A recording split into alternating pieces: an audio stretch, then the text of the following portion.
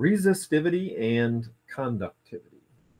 Resistivity is the material property that tells us how strongly it resists the flow of charge, while conductivity is the material property that tells us how easily charge flows through it.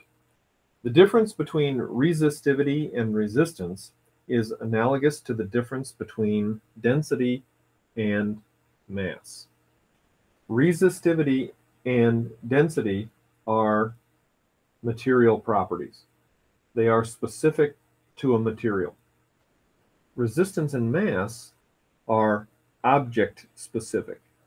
Not only what it's made out of, but how big it is, etc. Resistivity and density and conductivity are material specific. And things like resistance and mass are object specific. The symbol and typical unit for resistivity are rho, and the unit that is commonly used is the ohm meter. And the symbol and typical unit for conductivity are sigma. You can see that some of these variables are being employed in other ways. Sigma also means the area charge density, doesn't it? But it is the same symbol for conductivity. And the unit for that, one unit anyway, is 1 over ohm meters. And you can almost tell by the unit what is going to happen here in letter D. The mathematical relationship between resistivity and conductivity, they are inverses of each other. You can see we wrote above that the units are inverses of each other. And so obviously we could write sigma is 1 over rho as well. Resistivity and conductivity, they are reciprocals of each other. In the unit of part 1b, which is the ohm meter, the resistivity of zinc has a magnitude of 6.0 times 10 to the negative eighth.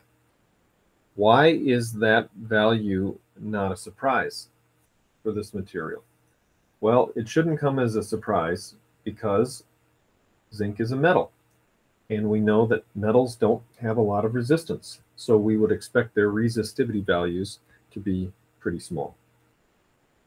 The conductivity of zinc then is going to be easy to find, isn't it? The conductivity is just 1 over the resistivity. So that's going to be 1 over 6.0 times 10 to the negative 8. And that's going to give us a big value, isn't it? To two significant figures, it comes out to be 1.7 times 10 to the 7th. And then the units are 1 over ohm meters. Or you could say, you could write it equally well, couldn't you? Ohm meters with parentheses to the minus 1. That would be okay too, wouldn't it? And what does that number tell us?